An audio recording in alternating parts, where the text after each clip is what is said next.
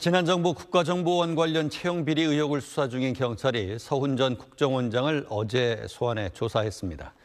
문재인 대선 캠프 출신 인사를 국정원 유관기관 고위직에 앉히려는 규정을 바꿨다는 의혹인데 이 인물은 해당 기관 건물에서 여성을 불러 술을 마신 의혹도 받기도 했습니다.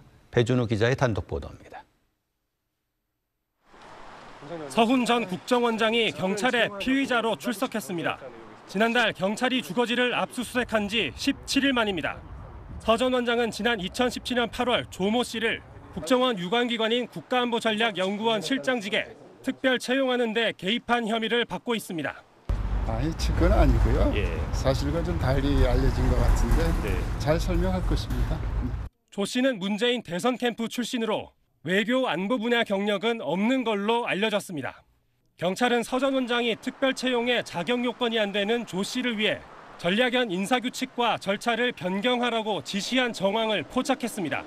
또 서전 원장이 청탁을 받았는지도 확인하고 있습니다. 외부에서 청탁이 있었는지요?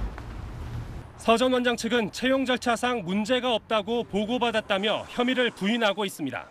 조 씨는 실장으로 채용된 뒤 부원장으로 승진했는데 부원장 시절인 2020년 10월부터 이듬해 12월까지 전략연 소유 오피스텔로 여성을 불러들여 음주를 하는 등 오피스텔을 사적으로 사용한 혐의로 경찰 수사를 받고 있기도 합니다.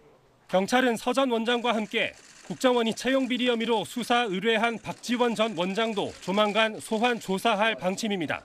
SBS 배준우입니다.